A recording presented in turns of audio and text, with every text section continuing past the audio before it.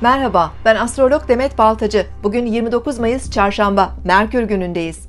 Kova burcunda ilerleyen ay güne özgür ve idealist enerjiler veriyor. Sabah erken saatlerde ay Boğa burcundaki Merkürle dik açı yapacak. Güne hızlı başlayabiliriz. Birçok konu ilgi alanımızda olabilir. Ancak stresli ve huzursuz da hissedebiliriz.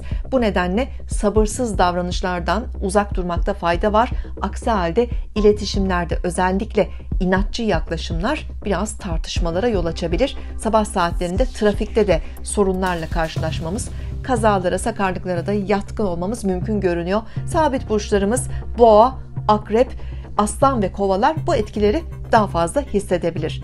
Öğleden sonraki saatlerde Ay Koç burcundaki Mars'ta olumlu bir açı yapacak. Enerjimizi daha doğru ve dengeli kullanabiliriz.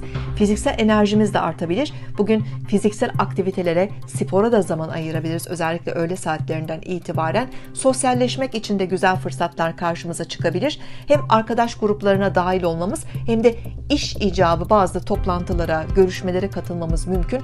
Daha girişken davranabiliriz, inisiyatif alabiliriz. Özellikle Koç, ikizler, kova, aslan ve yay burçları olumlu etkileri daha fazla hissedebilir. Akşam 17-15'ten itibaren Ay Uranüs'le yaptığı dik açının ardından boşluğa geçecek. Gece saatleri biraz huzursuz olabiliriz. Dikkatli olalım.